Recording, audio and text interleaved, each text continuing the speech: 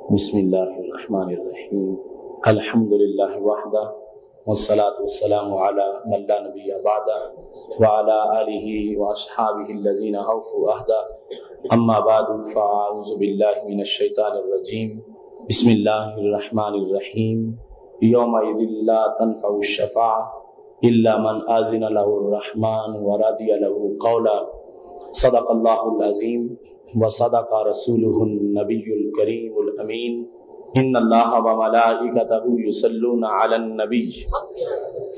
या अय्युहल्लजीन आमनु सल्लु अलैहि वसल्लिमु तस्लीमा। अस्सलातु वस्सलामु अलैका या सय्यदी या रसूल अल्लाह वाला आलिका वासहाबिका या हबीब अल्लाह मौला वसल्लि वसल्लिम दाइमन अबदा अला हबीबिका। खैर खल के कुल्लि में मनज़ाहन शरीकिन फ़ी महासिन ही फ़जहरुल हुस्न फ़ी गैर मुनकासिमी या अक्रम खल की माली मन अलुजुबी सिवा का इंदा हलूल हादिसिल आममी रब्बि सल्लि वसल्लिम दाइमन नबदा अला हबीबिका खैरिल खल के कुल्लि में अल्लाह तबारक व तआला जल्ला जलालुहू वम नवालू वातम बुरहानू वाजम सना और हजूर सरवर कायनात मफखर मौजूदात जीनत बज़म कायनात दस्तगीर जहाँ गम गुसार जमा सैद सरवरा बेकसम कायदुलमसलिन ख़ातमनबीन अहमद मुशतबा जनाब मोहम्मद मुस्तफ़ा सल्लल्लाहु अलैहि वासहाबी वबारक वसल्लम के दरबार गौर बार में हदिया सलाम अर्ज़ करने के बाद नहायत ही मज़ मुतशम हजरात ख़वातीन माह रमदान मुबारक के अशरा मगफरत में रमदान मुबारक के तीसरे जुमातुल मुबारक के मौका पर आज हमारी गुफ्तगु का मौजू है। मफहूम कुरान बदलने की वारदात किस्त नंबर दस। मेरी दुआ है खाल के कायनात जल्ला जलाल हमें हक का पैगाम हर तरफ़ पहुँचाने की तोफी कता फरमाए। मफहूम कुरान बदलने की वारदात ये हमारे उस मौजू का तसलसल है, जो आज से कई साल पहले शुरू किया गया। और अल्लाह के फजल से दुनिया के बहुत से ममालिक में इस मौजू को सुना गया।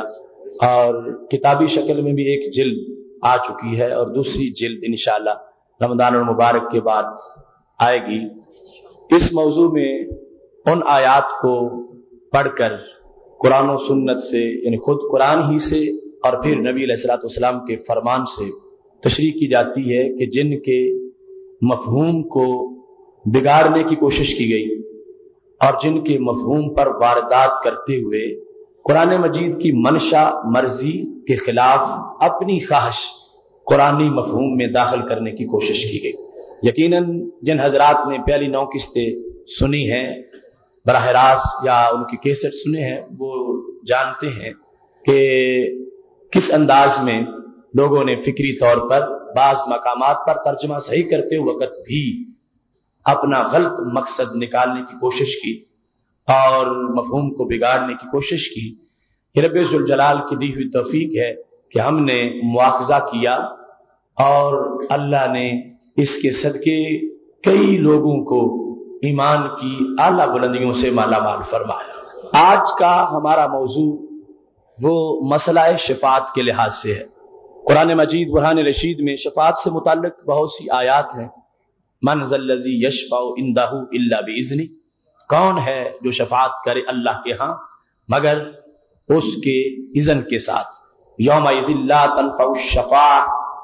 क्यामत के दिन शफात फ़ायदा नहीं देगी। इल्ला मन आजिन रहमान। जिसके लिए अल्लाह ने इजाज़त दी वरदी लहू कौला। जिसकी बात को रब ने पसंद किया, उसकी शफात फ़ायदा देगी। कुरान मजीद बुरहान रशीद की मुतद आयात, जिनमें शफात का तस्करा है। ईमान वालों को शफात मुयसर आएगी, और काफिर जो है, उनको शफात मुयसर नहीं आए। वो कहेंगे हमारा मिन शाफीन, हमारा तो कोई शाफे नहीं है जो हमें छुड़ाए, हमारी सिफारिश करे। मसला शफात में हमारा ये अकीदा है कि क्यामत के दिन काफिर मुशरक की शफात नहीं की जाएगी और न ही रबेजुल जलाल काफिर मुशरक को छोड़ेगा। जो कुफर और शिरक में रहा, वो जहन्नम का दायमी कैदी है। उसको कभी ना कोई अल्लाह वाला छुड़ाएगा और ना ही उसको छोड़ा जाएगा।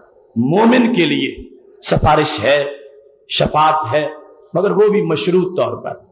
उसकी एक शर्त यह है कि सिफारिश करने वाला जो है, उसको अल्लाह की तरफ़ से इजन होगा कि तुम सिफारिश कर सकते हो। यानी रब्बे जलाल की इजाज़त के बगैर कोई जात अल्लाह के दरबार में सिफारिश नहीं कर सकेगी। इजन अल्लाह का होगा।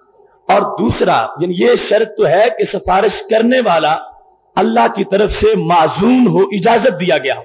और दूसरी शर्त यह कि जिसकी करनी है, वो मुशरक ना हो, वो काफिर ना हो, वो मोमिन हो। अगरचे फासिको फाजिर है, क्योंकि सिफारिश की ज़रूरत तो उसे पड़नी है जिसके गुनाह है। मोमिन ज़रूर हो, अगरचे वो फासिको फाजिर है, उसके लिए सिफारिश करने की इजाज़त होगी। और यह सिफारिश बिल वजाहत है, यानी जिन शख्सियात ने अल्लाह के दरबार में सिफारिश करनी है अल्लाह के दरबार में जो उनकी वैल्यू है, इसकी वजह से उनकी बात मानी जाए यानी ये कोई रोब नहीं रखते। इनका कोई दबाव नहीं है अल्लाह तला पर। रब जलाल तो पड़े जलाल में होगा, आज उसके लिए, उसके सामने किसी का कोई दबाव नहीं। कल अशर को क्या होगा? सारे शफी जितने भी बनेंगे, शफात बिल वजाहत करेंगे कि इनका एक स्टेटस होगा अल्लाह के दरबार में उस रुतबे की वजह से। इनकी बात मानी जाएगी ना ये कोई दबाव डाल सकते हैं और ना ही ये कोई और कोई ज़रिया इस्तेमाल कर सकते हैं। बस अल्लाह के महबूब होंगे तो जलाल इनकी बात को कबूल फरमा लेगा शफात, ये हमारा अकीदा है। मोतजिला का ये अकीदा रहा जो एक झूठा फिरका है कि फासिको फाजिर की शफात नहीं होगी, जबकि हम आल सुन्नत का हर दौर में यह अकीदा रहा। बिलखसूस ये आयत में जो पढ़ी वरादी या लहू कौला, इसमें ज़िक्र है कि उसकी शफात होगी कि जिसकी बात को रब पसंद करेगा, वो मुजरिम की जिसकी बात को रब पसंद करेगा। तो फासिको फाजिर ने यह बात तो ज़रूर की ना दुनिया में, ला मोहम्मद मोहम्मद तो शर्त कुरान की पाई गई। वरा दिया लहू कौला कि उसके कौल को रब ने पसंद किया है। ये कौल उस फासिको फाजिर का जो मोमिन है, मुशरक काफिर नहीं तो उसमें कुरानी शर्त पाई गई है। लिहाजा हमारे अकीदे के मुताबिक ज़रूर अगर कोई उसकी सिफारिश करना चाहेगा तो अल्लाह ताला की इजन से सिफारिश कर सकेगा। बाकी ये सिफारिश का जितना फलसफा है, इसकी आयात सुन के या अहदीस, शफात वाली सुन के किसी बंदे को गुनाह पर जरी नहीं होना चाहिए। ये चूँकि सिफारिश हो जाएगी, बात हो जाएगी तो हम अब नेकी ना करें ये किसी की भूल है। इस वास्ते कि जिन्होंने सिफारिश करनी है, वो ही कल राज़ी ना हुए तो फिर किधर जाओ? उनके करने के बाद अल्लाह की मर्ज़ी है। और महबूब अलैहिस्सलाम को तो सर्टिफिकेट दिया, और महबूब अलैहिस्सलाम ने वाजह किया, लेकुल्ले नबी दावतुन मुस्तजाबा। हर नबी की एक दुआ ज़रूर कबूल होती है। फताजला कुल्लो नबी दाबाता हर नबी ने वो मांग ली। पर मैंने आज तक नहीं मांगी। इन निख्तबात दावती शफात उम्मती यौमिल क़यामा। पर मैं अगरचे रोज़ाना दुआएँ कबूल होती हैं, मगर कोटे की दुआ मैंने छुपा के रखी है। क्यामत के दिन मांग के उम्मत को जन्नत में ले जाऊँगा। मोहतशम सामिन हजरात, ये एक तफसीर का इकतबास मेरे हाथ में मैं ये पहले पेश करके तो फिर इस पर तबसरा करूँगा कि वारदात कैसी अल्लाह के कुरान में की जाए इसी आयत के तहत यौम तनफा शफात मन अजिन रहमान व रदी लहू कौला सूरह ताहा आयत नंबर 109 है। इसके अंदर, इसकी तशरी करते हुए, इस मुफसर ने यह लिखा, एक मामूली अफसर अपने जरा से महकमे में अगर अपने हर दोस्त या अज़ीज़ की सिफारिशें सुनने लगे तो चार दिन में सारे महकमे का सत्यानाश करके रख देगा। भला ज़मीन व आसमां के फरमा रवा से यह कैसे तो की जा सकती है कि उसके यहाँ सिफारिशों का बाज़ार गर्म होगा? हर बुज़ुर्ग जा जाके जिसको चाहे बख्शवा लाएँगे। दरहा लेके उनमें से किसी बुज़ुर्ग को यह मालूम नहीं है कि जिन लोगों की सिफारिश वो कर रहे हैं, उनके नामा अमाल कैसे हैं। दुनिया में जो अफसर कुछ भी एहसास ज़िम्मेदारी रखता हो, उसकी रवश ये होती है कि अगर उसका कोई दोस्त उसके किसी कसूरवार माताहत की सिफारिश लेकर जाता है तो वो उससे कहता है कि आपको खबर नहीं कि इस शख्स ने कितना, ये कितना काम चोर, नाफर्द, शनास और रिश्वत खोर और हल्के खुदा को तंग करने वाला है। इसके करतूतों से तुम वाकिफ नहीं हो, इसलिए आप बराह करम मुझसे इसकी सिफारिश ना करें। इस मिसाल को देखकर मुफसर यह साबित करना चाहता है कि ये जो लोग कहते हैं कि क्यामत के दिन सिफारिश हो जाएगी और गुनागारों को बख्श दिया जाएगा, अल्लाह माफ़ कर देगा तो कहता है, एक आम महकमे में अफसर जो है, वो अगर हर एक की सिफारिश मानता जाए तो महकमे का सत्यानाश हो जाता है। और अगर क्यामत के दिन अल्लाह ये सिफारिशें मानना शुरू कर दे तो कानात कैसे बचेगा? अल्लाह का निज़ाम कैसे चलेगा? और फिर उसने जाके लिखा, बोंगी सिफारिशें करने की वहाँ इजाज़त ना होगी कि एक शख्स दुनिया में सैकड़ों हज़ारों बंदगाने खुदा के हकूक ने उसको, हकूक को उसने मारा हो और कोई बुज़ुर्ग उठकर उसकी सिफारिश कर दे कि हजूर इसे इनाम से सरफराज फरमाइए, ये मेरा खास आदमी है। ये तफीमुल कुरान का इकतबास मैंने तुम्हारे सामने पढ़ा। इसमें शफात के मसले को कुरानी नुकता नज़र से हट के बयान किया गया। और नबी सलाम की मरफू हदीसों के खिलाफ बयान किया गया। अब अपनी अकल से ये फलसफा बनाया गया कि दुनिया में ये बात वाजे कि एक अफसर जो उसके पास सिफारिश करने आए, वो मानता जाए। तो अच्छे बुले सारे लोग जो है सिफारिश मानेगा तो वाजे तो महकमा तो नहीं चलेगा। एक काम चोर को भी तनख्वाह दे दे और जो शख्स ड्यूटी पे आता ही नहीं, किसी की सिफारिश पर उसको भी वजीफा दे दे, तनख्वाह दे दे। ऐसे लोगों के काम तो नहीं चलेंगे, महकमा नहीं चलेगा। ये बात दुनिया के लिहाज से माकूल है कि एक शख्स को अपना महकमा चलाने के लिए सोचना होता है, उसे देखना पड़ेगा। और ये कह सकता है सिफारशियों को कि तुझे इसके करतूतों का पता नहीं, तुम अच्छा है, सिफारिश ना करो। मुझे अपने काम में रहने दो, मैंने काम चलाना। मगर इस मुफसर को यह पता नहीं, दुनिया की अफसर और हैं, कायनात का खालिक और है। क्यों नहीं पता? इस वास्ते नहीं पता कि चलो, सिफारिश का मसला अपनी जगह रखो। दुनिया में सिफारिश के बगैर एक महकमे का अफसर अगर खुद सब निकम्मों को छोड़ता जाए, कोई नहीं नहीं आता, तनख्वाह फिर भी देंगे। सिफारिश कोई ना करे। वो खुद मुजरिमों को माफ़ करता जाए तो क्या महकमा चलेगा? नहीं चलेगा। तो हशर में क्या अल्लाह माफ़ भी नहीं कर सकेगा? सिफारिश का मामला तो अपनी जगह रखो। जो दलील दी है इस बंदे ने कि सिफारिशें उस वहाँ नहीं मानी जाएँगी या नहीं करने देगा कोई, उसको यह भी तो सोचना चाहिए कि अल्लाह के माफ़ करने पर पाबंदी कौन लगा सकता? सिफारिश कोई ना करे तो मेरे रब की शान है। जिसने कलमा पढ़ के एक ने की बिना की उसको जन्नत पहुँचा दे। चाहे तो कर सकता है, इसीलिए तो उसको गफूर कहते हैं, इसलिए तो उसको आफूफ कहते हैं, इसलिए तो उसकी मफरत के डंके बज रहे हैं। इसलिए तो वो कह रहा है, इजा साला का इबादी अन्नी फन्नी करीब। महबूब, जब मेरे बंदे तुझसे मेरा पूछे तो बताओ मैं बिल्कुल करीब हूँ। वो दावतदान जब मांगे मैं दे दूँगा। अब मुख्तशम शामिल हजरात, दलील उस शख्स की तुमने सुनी। सफारिश के खिलाफ बोलते बोलते अल्लाह की माफ़ी का जो मनसब है, उसके खिलाफ भी बात आ गई। अगर इस महकमे वाली मिसाल को लेकर सिफारिशों के बाज़ार गर्म नहीं होंगे तो फिर दुनिया में जो किसी की सिफारिश के बगैर खुद मुजरिमों को छोड़ता जाए उसका महकमा भी नहीं चलता, जबकि मेरे रब के महकमे को कोई रोक नहीं सकता। माफ़ कर दे, उस पर कोई पाबंदी नहीं, और यकीनन वो मुजरिमों को माफ़ करेगा।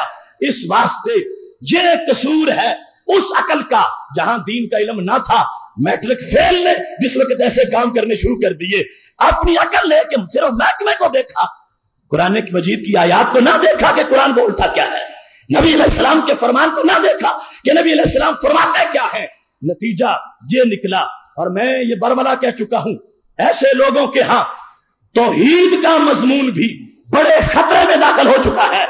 ये पहले नबी सलाम की जात को अपने ऊपर क्यास करते थे और अपने मामलात नबी सलाम के साथ मिलाते थे। फिर इन्होंने रब के मामलात को भी बंदों पर क्यास करना शुरू कर दिया। ये बंदे पर क्यास किया ना रब को कि महकमा नहीं चलेगा अफसर का महकमा नहीं चलेगा। मैं कहता हूँ, जालिम अफसर आए, खालिद और है। अफसर का महकमा सिफारिश से नहीं चलता तो सबको छोड़ने से भी नहीं चलता। और मेरे रब की शान है, मुजरिमों को बरी करेगा। मेरे रब की शान है मफरत अता फरमाएगा।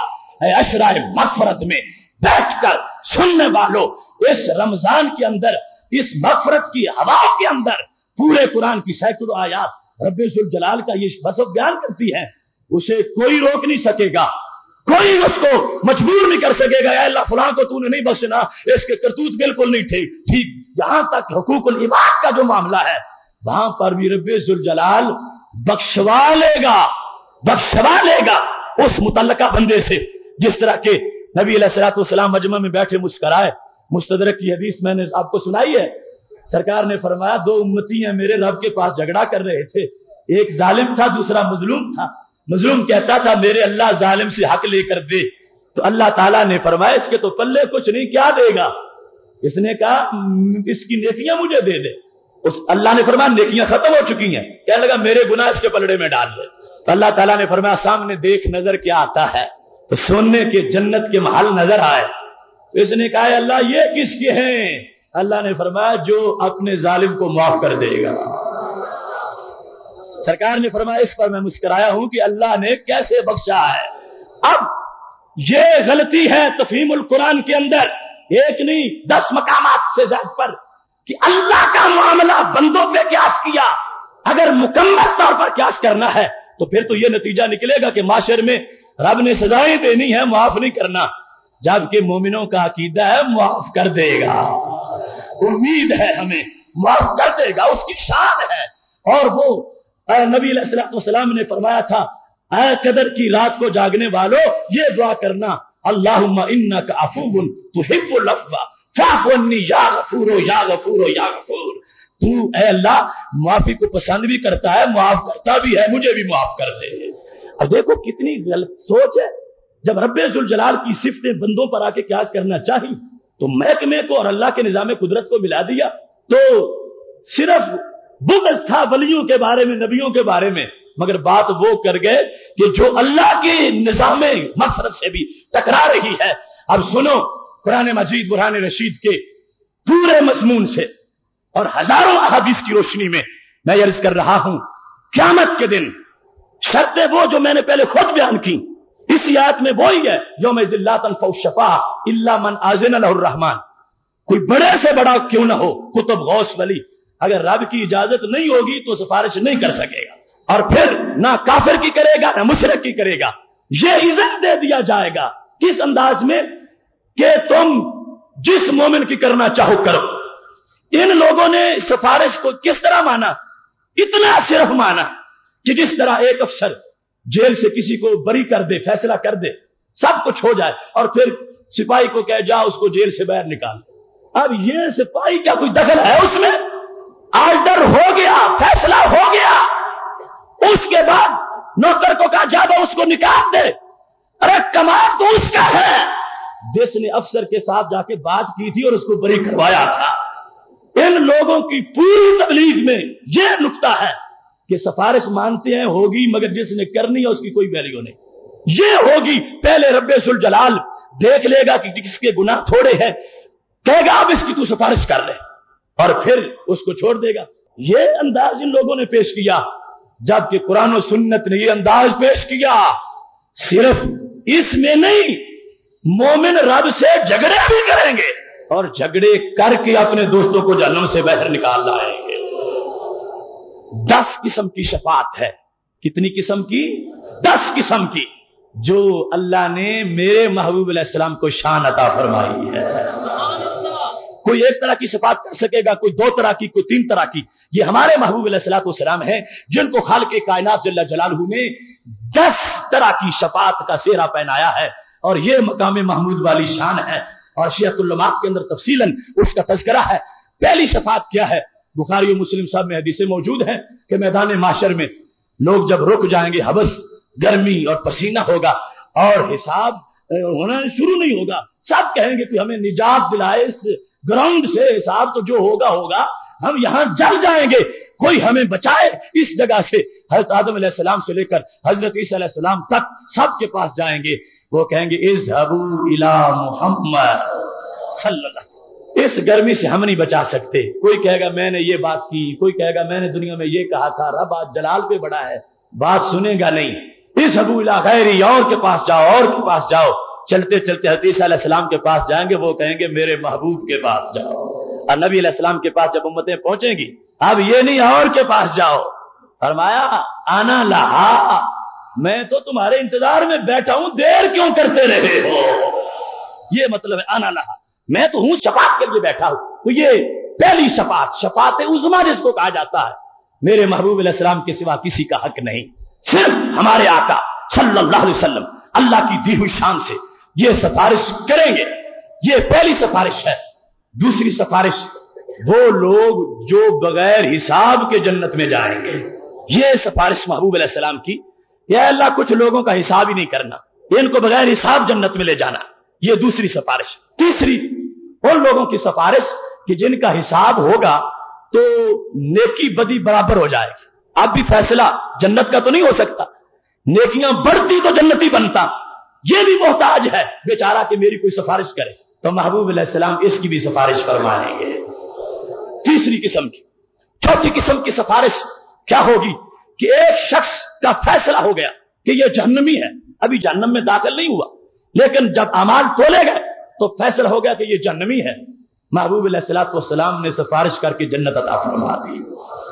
पाँचवें नंबर पर, वो शख्स जो जहन्नम में चला गया, अपने अमाल की वजह से, वहाँ से मुट्ठी भर के करोड़ों को जन्नत में पहुँचा देना।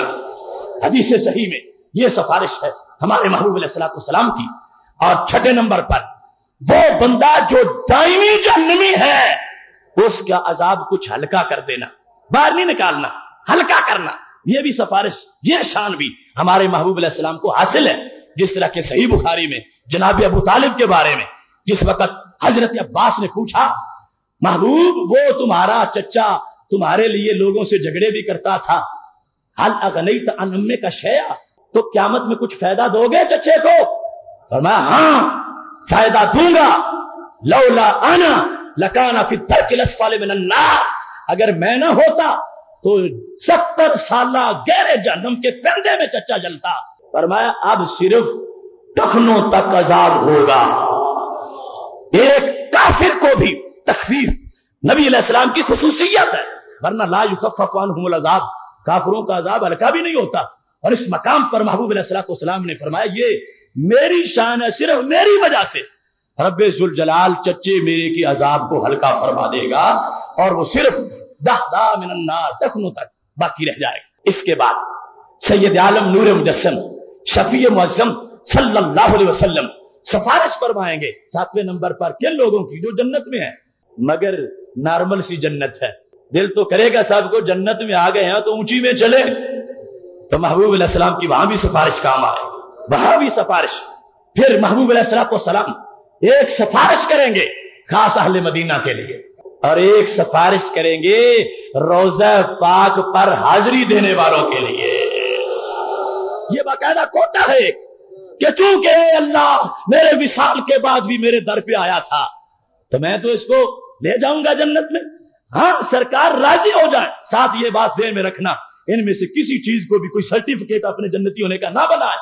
कोई गया, सरकार ने उसको कबूल ही ना किया हो, नाराज़ हो गए हो, या उसके बाद वाले किसी अमल ने नेकी जाया कर दी हो तो सरकार राज़ी होंगे तो फिर सिफारिश का दरवाज़ा खुलेगा। नौ सिफारिशें ये हैं। दसवीं सिफारिश है जन्नत का दरवाज़ा खोलने की। आना अब वालो मैं यू हर को कल जन्नत। फरमा लोगों, सुन लो, मेरे सिवा कोई जन्नत का दरवाज़ा नहीं खोल सकता। जब जन्नत दाखिले के सब मुंतजर होंगे, लाइनें लगी होंगी, सब तड़पेंगे, देखेंगे, काश खुले दरवाज़ा।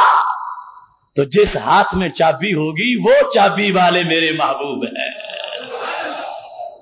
ये सिफारिश है। दसवीं, दस सिफारिशें, दस सफातें। मेरे महबूब सलाम को रब्बुल जलाल ने शान दी है। और यहाँ ये नहीं कि नाप नाप के, तोल तोल के, ए, महबूब फुला बिन फुला, उसका हिसाब चेक हो गया है। अस्सी फ़ीसद पास है, बीस फ़ीसद कुछ कमी है। अब तुम सिफारिश कर लो। ऐसी इजाज़त नहीं होगी। इजाज़त ये होगी, महबूब, जिसको पसंद करते हो, उठाओ जन्नत में पहुँचा दो।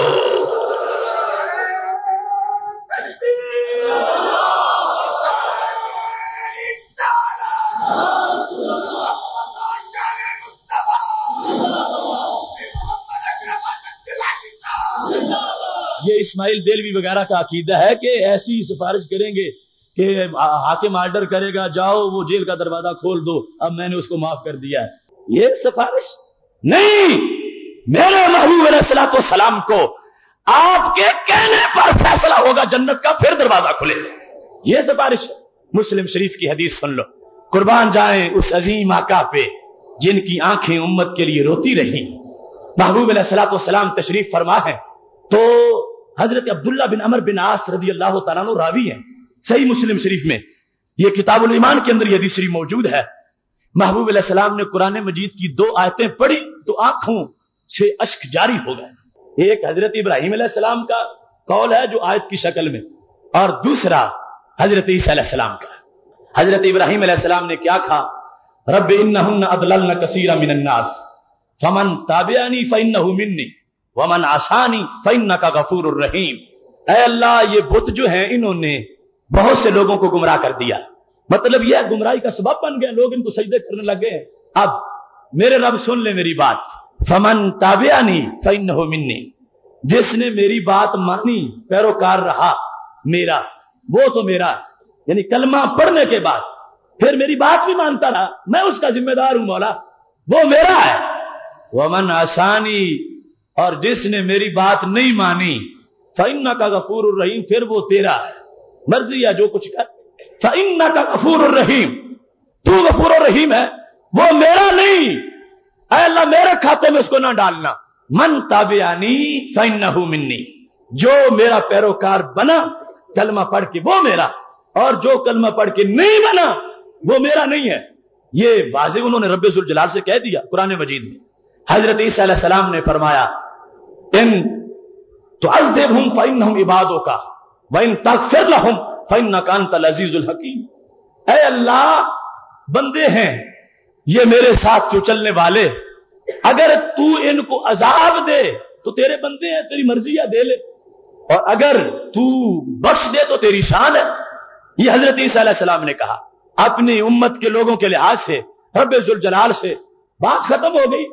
ये दो आयात जब मेरे महबूब सलाम ने पढ़ी, आँखों में आँसू आ गए। हाथ ऊँचे किए। अल्लाह उम्मती उम्मती। सबका।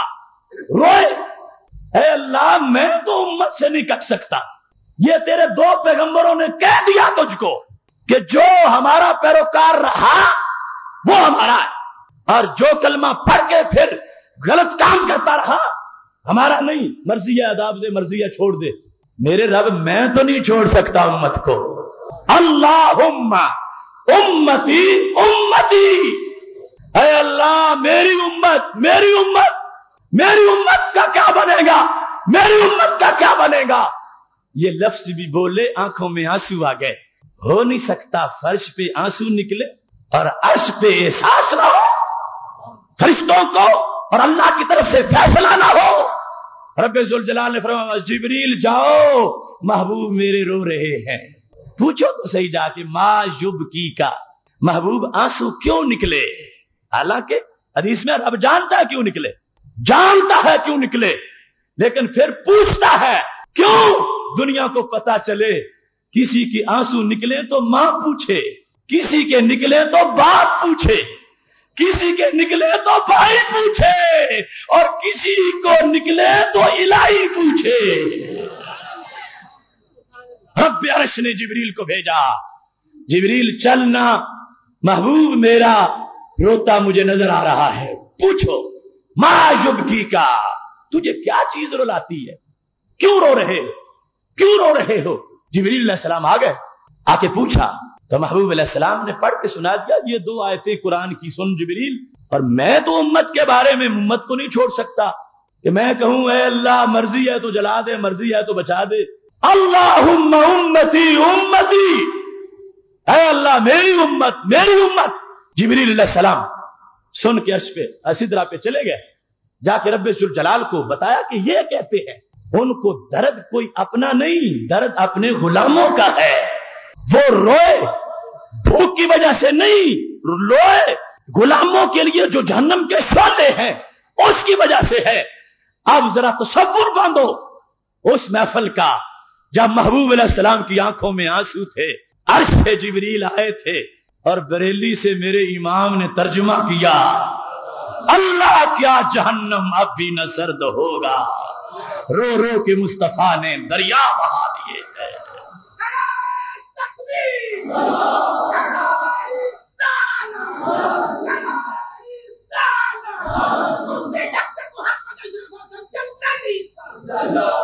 मोहतशम सामी हजरात रबेजुल जलाल ने फरमाया, जिबरील, फिर जाओ। जाओ।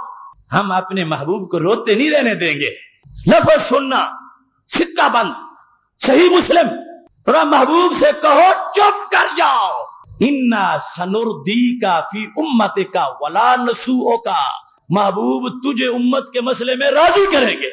ये है ना सबसे बड़ा जुमला। ये नहीं कहा कि तुम्हारा हज़ार कहोगे, हज़ार भेज देंगे, दो हज़ार कहोगे, दो हज़ार भेज देंगे, दस हज़ार जन्मियों को निकलवाना चाहोगे, भेज देंगे, दस लाख को चाहोगे, भेज देंगे। फरमाया, नहीं, महबूब, मकसद है तुम्हें राज़ी करना। जब राज़ी हो जाओगे, हम बस कर देंगे। सनुर्दी का फ़ी उम्मत का वला नसुओं का फरमा हमने कोई क्यामत के दिन आपको नाराज़ के रखने के लिए क्यामत बनाई है? हम तुझे नाराज़ नहीं होने देंगे। महबूब, हौसला रखो। सनुर्दी का। हम तुझे राज़ी करेंगे। इन लफ्जों के सामने वो अफसरों वाली बातें करना कोई मोमिन का काम है? कि जिधर से एक बंदे की उधर इजाज़त रब देगा, फिर आप कहो सिफारिश कर लो। नहीं, क्यामत तो क्या मेरे महबूब अलैहिस्सलाम ने दुनिया में बैठ के आँसू बहाए हैं। रब ने निज़ाम बना दिया है। दुनिया में बैठकर आँसू बहाए हैं। आखिर मैंने शुरू में कहा कि यह सिफारिश जो है किसी के रोब की नहीं, ये सिफारिश किसी की पावर की नहीं, ये सिफारिश रब के दरबार में मकाम नाज की है। जिबरील महबूब मेरे हो ज़मीन पे रोते रहे। ऐसा नहीं होगा। जाओ ना, पूछो। हालाँकि रब जानता है, मगर इसमें लज्जत ज़्यादा है कि पहले महबूब मांगे फिर दी जाए। वो पहले कहे ना मुझको जिबरील को कि यह मसला है, इसलिए मैं रो रहा हूँ। तो मैं दोबारा जिबरील तुझे भेजूँगा कि जाको कहो, कोई मसला नहीं। सनुर्दी का हम तुझे राज़ी करेंगे राज़ी करेंगे। वला नसूओं का नाराज़ नहीं होने देंगे। गुनाहगारों का रोज़े माशर, शफी खैरुल अनाम होगा। दुल्हन शफात बनेगी, दूल्हा नबी सलाम होगा। इधर वो गिरतों को थाम लेंगे उधर प्यासों को जाम देंगे। सिरातो मीजान, हौज कौशल यही वो आली मकाम होगा। आना लहा कहतियाशियों को लेंगे आगोश मरहबत में। अज़ीज़ अकलोता, जैसे माँ को नबी को अपना गुलाम होगा। इस अंदाज के अंदर रब्बुल जलाल महबूब सलाम को शान देने का वादा कर चुका है। वो रब जो सच्चा रब है और सच्चाई के दिन उसका ऐलान कर चुका है कि महबूब सलाम को तोल तोल के नहीं, नाप नाप के नहीं, थोड़ी थोड़ी नहीं। एक इजाज़त ज़रूर होगी, रब इजाज़त देगा। फरमाएगा, महबूब, चुल्लू भरो, करोड़ों उठाओ, जन्नत में पहुँचा दो। अब कहाँ गए वो जुमले? इसे क्या खबर के करतूत इसके कितने थे? अफसर को पता है कि कितनी कोताही करता रहा। अरे, शफात फिर किस चीज़ की है? रब्बुल जलाल ने फरमा महबूब, हमने देखना है तुझे। हमने उस बंदे को नहीं देखना कि थोड़े किए थे या ज़्यादा किए थे। हमने तुझे नाराज़ नहीं होने देना। तुझे नाराज़ नहीं होने देना। और तुझे नाराज़ नहीं होने देना। तुझे राज़ी करना है। अब यह है शफात। ना ये कि अल्लाह किसी को फैसला करके जन्नती बनाए और फिर क्या महबूब, अब तुम सिफारिश भी कर लो इसकी। अब दरवाज़ा खोल दो। ये चला जाए ये नहीं है। गलत मफहूम लोगों ने वार्तात की, कुरान मजीद की आयात पर। मेरे महबूब सलाम की ये शान है। अल्लाह ने तो थोक के हिसाब से कहा। लफज नहीं बोले, लाख, दो लाख करोड़, दो करोड़। फरमाया, महबूब सनुर्दी का, हमने तुझे राज़ी करना है। वाला सऊफा योथी का रब्बू का फतर ये शान है ना, सारी दुनिया कहे रब को राज़ी करना है, रब के महबूब को राज़ी करना है। फिर सुनिए, दूसरे नंबर पर, हदीस शरीफ से, इसका मफहूम वाजे करना चाहता हूँ।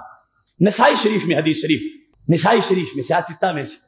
सही हदीस मेरे आका सल्लल्लाहु अलैहि वसल्लम इरशाद फरमाते हैं, मा मुजादलत अहदिकुम फ़ी हक्किन यकून लहू फ़ी दुनिया बि अशद्दा मुजादिला मिनल मुमिनीन रब्बहुम फ़ी इखवानहिम।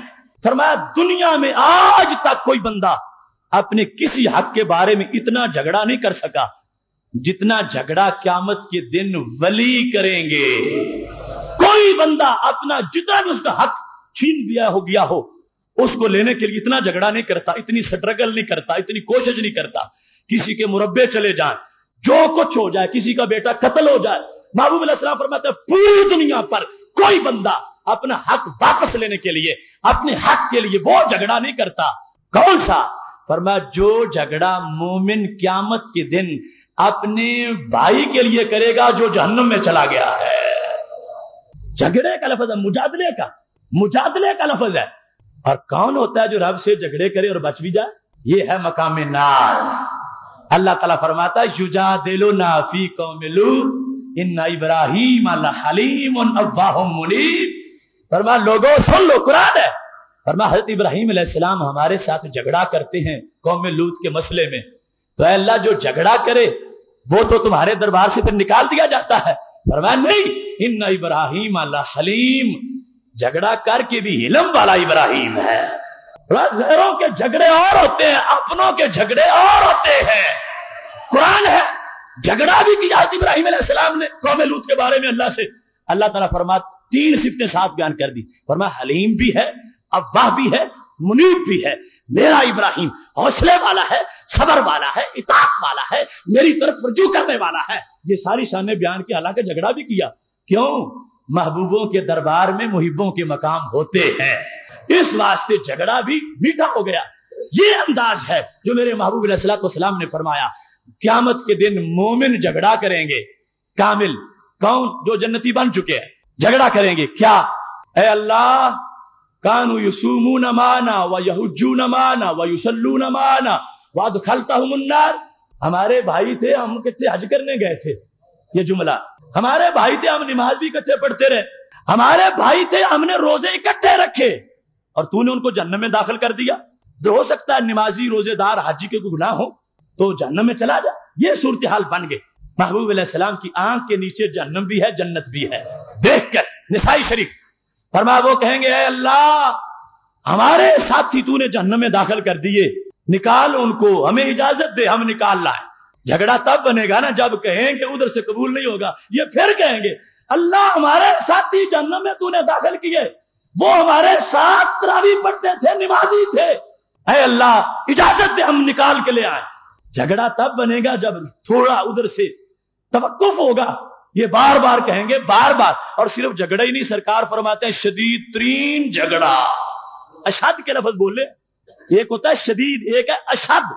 अशद जो है सुपरलेटिव डिग्री है, शिद्दत की। बड़ा ही जान मारेंगे। इधर से, उधर से। अल्लाह अल्लाह अल्लाह। वो हमारे भाई जन्नम में चल गए जन्नम में चल गए। इजाज़त दे हमको, हम निकाल के ले आए। इतना दुनिया में किसी का पसीना नहीं बहता हक मांगते वक्त। इतना रब से झगड़े करेंगे झगड़े करेंगे। अब इधर ये हदीस है, और उधर तफीमुल कुरान की वो इबारत तो देखो। कि कतूत क्या थे तुझे पता नहीं है। हट जा पीछे। तेरी बात नहीं मानी जाएगी। नहीं नहीं। रब्बे जलाल क्या फरमाएगा? चलो, मेरे बंदो, तुम जन्नत लेके भी खुश नहीं हो। कहते हो उसे भी निकाल, उसे भी निकाल। ए साबू, आखिर जू मन अरफ तुम। जाओ, जो जो बेली है बहर निकाल के ले आओ। मैं यार किस चीज़ को बनाया? किसको निकालना है? फरमा, मन अरफ तुम, जिसको तुम जानते हो। जिसकी भी पहचान है, जिसकी भी पहचान है, खा गुना उसके थे दस लाख, खा थे बीस लाख, खा थे एक हज़ार। मन नरस दो मैंने तुम्हारी बात मान लिया, जाओ। जिस जिसको पहचानते हो, उसे जन्म से निकालो, जन्नत में ले जाओ। ये शफात है खुली, सरकार के गुलामों के लिए भी। क्योंकि पहली जो शफात है, वो सिर्फ़ और सिर्फ़ हमारे महबूब सलाम का खासा है। आप मकामी महमूद पे होंगे। जब तक सिफारिश का दरवाज़ा नहीं खुलेगा, कोई नहीं कर सकेगा। आप खोलेंगे, अल्लाह के इज़्ज़त से तो फिर तो यहाँ तक भी आ गया कि वो नातमाम बच्चा पूरा बना ही नहीं था। विलादत से पहले, मुद्दत पूरी होने से पहले वो बच्चा जाया हो गया। सकत उसको कहते हैं, जो गिर जाए बच्चा। महबूब फरमाते हैं, वो भी अपने नाफे के साथ माँ को बाँध के जन्नत ले जाएगा। क्या मज़ाक बना लिया इन लोगों ने सफात के मजमून को? महबूब सलाम दरवाज़ा खोलते हैं। उसके बाद कितने शफी वो छोटे बच्चे तक। वहाँ तक सिफारिश मानी जाएगी, बात कबूल होगी। रबुल जलाल उनकी बात को पसंद कर लेगा। अब ये जो झगड़ा कर देते हैं, शदीद झगड़ा। हर वक्त ए रब ए रब, हमारे दोस्त जहन्नम में जल रहे हैं। अल्लाह तला ने जाओ, आखिर जू मन अरफ तुम अब ये चले जाए बाद हम मन आखदा नारो इला निस्फे साक। है जिनके लिए झगड़ते रहे, उनमें से कुछ वो है जिनको आधी पिंडलियों तक आग आ गई है। इसे पता चलता है कि जहन्नुम में बड़ा कंप्यूटराइज निज़ाम है। ऐसा नहीं कि जिसको गिराया फ़ौरन ही हर एक नीचे पैंदे में चला जाए। यानी आग ऊपर बोझ भी बर्दाश्त कर सकेगी। आहिस्ता आहिस्ता जो जो मुजरिम होगा, धनस्ता चला जाए। बाद उनमें से आधी पिंडलियों तक आग में चले गए और बाज टखनों तक ऊपर से शफी पहुँच गए। शफी पहुँच गए। अब अल्लाह का आर्डर है, रोक कौन सकता है? हाथ डाला, खेच के जन्नत में पहुँचा दिया। मोमिनीन का लफज है, मोमिनीन का, यानी जो बड़े दर्जे के सालहीन है, औलिया, शुहादा, गौस, कुतब और फिर अंबिया, उनका मामला तो बड़ा दूर का मामला है। ये क्लास फैलो मोमिन, हज फैलो और नमाज़ फैलो, ये कट्ठे रोज़े रखने वाले, आधे पास हो गए, कुछ नाकाम हो गए, जो पास हो गए महबूब सलाम फरमाते हैं, झगड़ा बड़ा करेंगे और झगड़े का फ़ायदा भी होगा, रब मान जाएगा। अब इस वक्त अल्लाह ताला फरमाएगा, निकालो। निकाल के फिर चले जाएँगे अल्लाह के दरबार में। ए अल्लाह, वो तो सारे हम निकाल के ले आए जो तूने कहे थे। अब यहाँ पर ये अंदाज भी देखो ना, अल्लाह ताला ने यह नहीं कहा जैद को निकालो, अमर को निकालो, बकर को निकालो, खालिद को निकालो। फरमानी मन अरफ तुम, जिसको पहचानते हो निकाल मैंने जो दरवाज़ा खोल दिया रहमत का ये उमूम वाला लफ्ज है, अब जिसको पहचानते हो सकता है सौ हो सकता है हज़ार हो, दस हज़ार हो। मन अरफ तुम मैं यार, तुम्हारा पहचानना है, निकाल लो जाके। अब चले गए अल्लाह, जिनको हम जानते थे निकाल के ले आए। इनको उम्मीद लग गई है। अब अगली बात भी मानी जाएगी। जाके, हालाँकि जन्नत में पहुँचा के दोस्तों को फिर कहते अब हम भी आ गए दोस्त भी आ गए हैं। नहीं, फिर जाएँगे अल्लाह, जो तूने कहे थे हमने निकाल लिए। फिर अल्लाह फरमाएगा, जाओ आखिर जू मन काना फ़ी कल्ब ही वजनो दीनार। अब एक और कोटा तुम्हें दे रहा हूँ। पहले था जिनको पहचानते हो अब जिस जिस के दिल में एक दिनार जितना भी ईमान है, उसे भी निकाल के ले आओ। अब उस तफहीम के लफ्ज पर गौर करो कि वो सर कहेगा, तुझे पता नहीं इसके करतूत कितने ऐसे तो कोई अच्छा काम किए ही नहीं। तो मैं क्यों छोड़ू? निज़ाम नहीं चलेगा। अल्लाह फरमाता है, सारी ज़िंदगी इसने कोई अच्छा काम ना किया। मगर दिल में ईमान तो था। बंदो जाओ, एक दिनार भी जिसके दिल में है, निकाल के ले आओ। ये जाएँगे, उनको निकालेंगे, फिर अल्लाह के दरबार रबीजुल जलाल फरमाएगा, आखिर जो मन का नफी कलबी निस्फ दीनार रेट लग गया है। आधा दीना जिसके दिल में, उसे भी निकाल।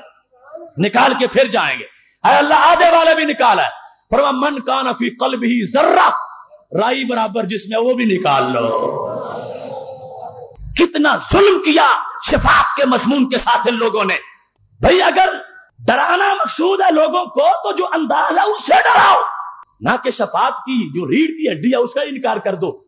ये शफात, इसको सुन के कोई जरी ना हो जाए कि मेरे दिल में फिर निसफ तो आ जाएगा, ये हो जाएगा, वो हो जाएगा। क्योंकि हो सकता है कि वो लोग वहाँ तक उनकी जो शफी है रसाई ना हो, फिर भी मामला अटक जाए। इस वास्ते डरते रहना डरते रहना और अमल करते रहना, ये मोमिन की शान है, मगर शफात मानना भी मोमिन का ईमान है।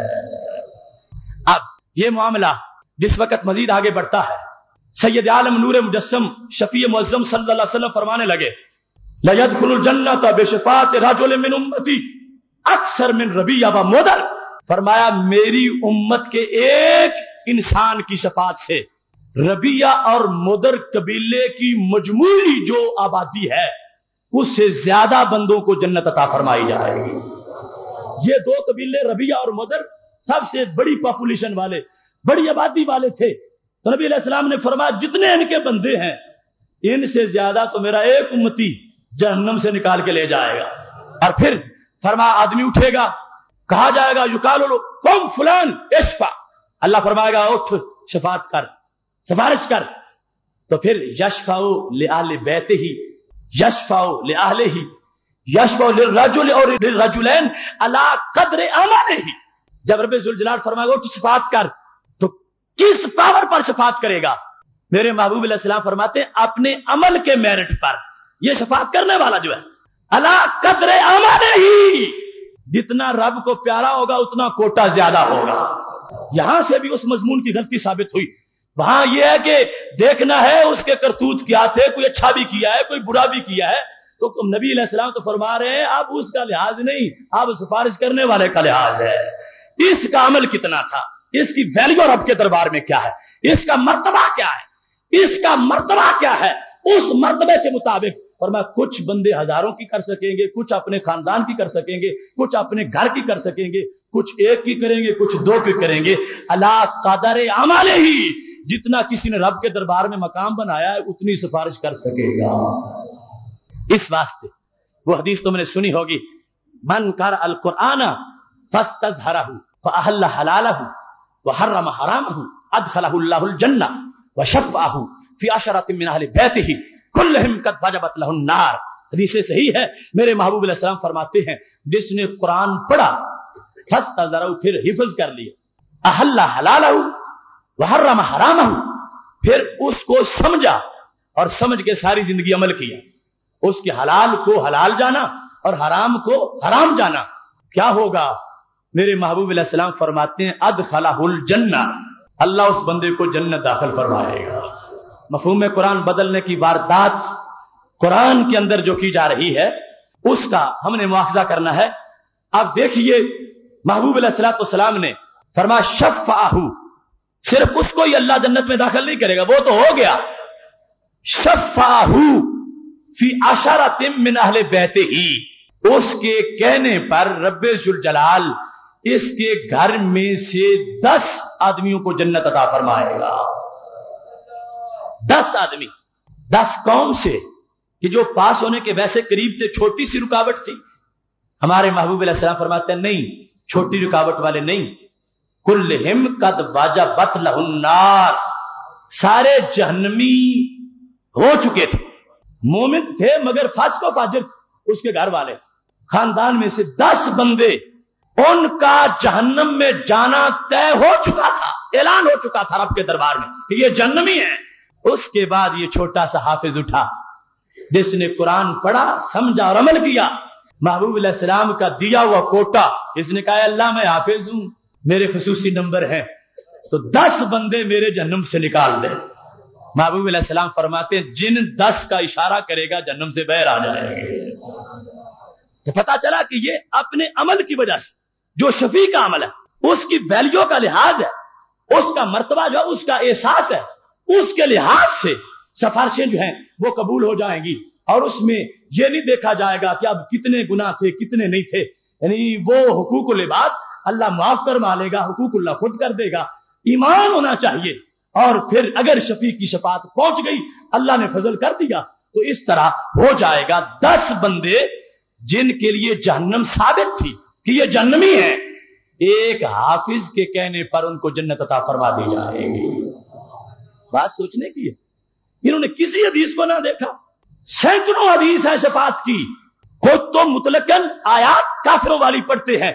यानी जहाँ काफिरों का ज़िक्र है फमाला नामिन शाफीन। हमारा तो कोई शफी नहीं, हमारा तो कोई शफी नहीं। पढ़ते ये जाते हैं, सुनाते मोमिनों के हैं कि कल तो कोई परेशान हाल नहीं होगा, कोई नहीं होगा, कोई नहीं होगा। यहाँ तक माजला पहुँच जाते हैं, यहाँ तक यहाँ तक इंसान का जमीर गवारा नहीं करता। कहते हैं कि हमारे नबी सलाम को कोई पता नहीं कि मेरे साथ कल क्या हो।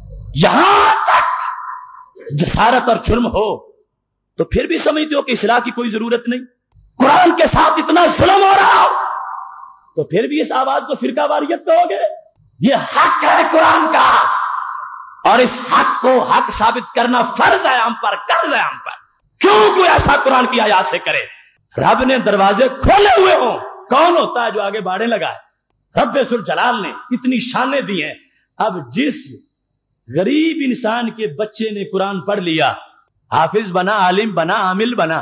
वो तो दस ले जाए और जिनके सीने पे उतरा, उनकी सूरत हाल क्या होगी सीने पे जिनके उतरे, उनके लिहाज से कहना नहीं, कल कुछ फ़ायदा नहीं दे सकेंगे। ये कोई दीन है? ये कोई ईमान है? ये कोई पहचान है नबूबत की? जिन पर उतरा और किसी के बच्चे ने पढ़ लिया। एजाज है और फिर उल बेसा वालदा हो ताज यौमल कियामा। गरीब सी माँ थी, गरीब सा बाप था, मगर क्यामत के दिन नूर का ताज दोनों को पहनाया जाएगा। नूर का ताज, कि बच्चा इनका हाफिज बन गया, बच्चा पढ़ गया, आलिम बना, आमिल बना। इस वास्ते इनके अपने अमल पर नहीं, बच्चे की वजह से, बच्चे की वजह से इनको ताज फरिश्तों पहनाओ। हाय अफसोस उन लोगों की इस फ़िक्र का मातम करें जो लोग मेरे महबूब सलाम के वालदेन के बारे में गलत सोचे। हज़रत सैयद आमिना रज़ी अल्लाह तला और हज़रत सैयदना अब्दुल्ला रज़ी अल्लाह तला हो उनके बारे में माजल्ला कहते फिरे कि वो वहाँ हैं वहाँ हैं और जन्नत से दूर हैं। कैसे? कैसे ज़मीन उनका मानता है कि वो ऐसी बात करें? जिन पर उतरा हुआ कुरान गैर पड़े तो उसकी अम्मी को ताज पहनाया जाए अबू को ताज पहनाया जाए, और जिन वालदेन के लाल के सीने पे उतरा, उन वालदेन की शान क्या होगी? क्या उनकी अपने वालदेन के बारे में भी बात नहीं मानी जाएगी? हालाँकि तयशुदा हकीकत है, वो वैसे ही सरकार की नस्बत से, वो पहले ही सरकार की असमत से, उनकी असमतें दोबाला हैं, शान निराली है। तो इस वास्ते मोहतशम सामी हजरात, जो हज़ार अहादीस और कुरान मजीद की सैकड़ों आयात से शफात का मजमून है, वो तुम्हारे सामने तफहीमुल कुरान के रद में मैंने तुम्हारे पेश किया पूरी ज़िम्मेदारी के साथ। हर लफ्ज का पाबंद हूँ, हर लफ्ज का जिम्मेदार हूँ कि मैंने बरहक इस कौल को सौ फ़ीसद हक समझते हुए तुम्हारे सामने इस फिक्री वारदात का इंकशाफ किया, कितना कितना जुल्म किया लोगों ने तर्जमा कुरान की आड़ में और तफहीम कुरान की आड़ में, कितने कितने मसाले हैं और कितने कितने रब के अजीम बंदों की शानों का इनकार किया है। उस बंदों के साथ था। बात यहाँ तक कर दी कि अल्लाह की शान का इनकार लाजिम आने लगा। अब जिस वक्त वो अफसर और महकमे वाली बात चलाओगे, वहाँ अगर दुनिया में अफसर सिफारिशें माने तो महकमा डूब जाता है, और अगर खुद छोड़ता जाए, फिर भी डूब जाता है। जबकि यहाँ तयशुदा बात है कि रबाल हशर में खुद छोड़ देगा, कोई नुकसान नहीं होगा। क्योंकि महबूब फरमाते हैं, अगर सारी दुनिया के बंदे पहले दर्जे के सूफी बन जाएँ, मुत्तकी बन जाएँ, अल्लाह को कोई फ़ायदा नहीं दे सकते। और सारे ही पहले नंबर के बुरे हो जाए, अल्लाह का कुछ बिगाड़ नहीं सकते। तो उस रब के कारखाना कुदरत को महकमे से तस्वीर देना को तुक बनता है? कैसी सोच है ये? मेरे रब की अजमतों का इनकार किया जा रहा है। इस वास्ते मोहतशम सामी हजरात, शफात है, बरहक है, अमल ज़रूरी है, हर सांस में ज़रूरी है। शफात बिल वजाहत है। अल्लाह के दरबार में जिसकी जो वैल्यू है, उसको रब कह देगा। ये नहीं कि लकीर लगा के इसकी कर। कहेगा, जिसकी चाहता है कर। शर्त पहले लगा दिए, मोमिन की हो, काफिर की नहीं करनी, काफिर की नहीं करनी, आगे तेरी मर्ज़ी है। क्योंकि मुस्तदरक हाकिम की हदीस शरीफ, जो चंद जुमे मैंने पहले बयान की, उसमें जब नबी सलाम मुस्कराए और वो हदीस फिर आपने फरमाया, मेरे सहाबा, मैं सुबह से लेकर बैठा, शाम तक ईशा तक बैठ रहे, बोले ही नहीं, सिर्फ़ नमाज़ पढ़ाई, फिर बैठ गया चाश के वक्त थोड़ा सा मुस्कराए थे। फरमाया, उस वक्त मैं बताऊँ क्यों मुस्कराया था? फरमाया, अल्लाह ताला ने पहले नबियों को बुलाया, तुम सिफारिश करो, फिर शहीदों को बुलाया, तुम करो। और उस वक्त एक आखिरी बंदा जहन्नम से जिसको निकाला गया, अशर बपा होना सरकार ने पहले देखा है सही हदीस में। फरमाया, जिस वक्त उसको अल्लाह ने निकाला तो अल्लाह ने फरिश्तों को कहा, जो दुनिया से सबसे बड़ा बादशाह था ना, उसके मुल्क जितनी ग्यारह बार इसको जन्नत दो। उसने कहा तस्ताजियो बी वन तरबी रब हो के मेरे साथ मज़ाक करता है। मैं कैसे जन्नतों का मुस्तक और इतनी बड़ी जन्नतों का? महबूब फरमाते हैं, सादा था, बोल रहा था, रब भी मुस्कराया है, मैं भी मुस्कराया। क्योंकि बैठे थे ना मजमे में तो मुस्कराए एक मकाम पर। फरमा शाबा, पता है क्यों मैं मुस्कराया हूँ? फरमा उसकी बात सुन के रब भी मुस्कराया है, मैं भी मुस्कुराया तो ये हमारे निहारे होंगे उस वक्त, इस अंदाज में। ये रब जलाल ने शान दिया उस हदीस में। ये है, जब शोदा को बुलाया जाएगा तो अल्लाह फरमाएगा इश्फू लेमन नारादू, और मैं मर्ज़ी तुम्हारी है। जिसका इरादा करो, सिफारिश करो, मैं कबूल कर लूँगा। मन अरादू के अल्फाज भी इस बात को वाजे कर रहे हैं कि वहाँ पर मुतलकन इजाज़त दे दी जाएगी, और उस इजाज़त से आगे बेड़े पार हो जाएँगे। मेरी दुआ है रब्बुल जलाल रमज़ान मुबारक के लम्हात में हमें अमल की मजीद पुख्तगी और ईमान की मजीद अजमत अता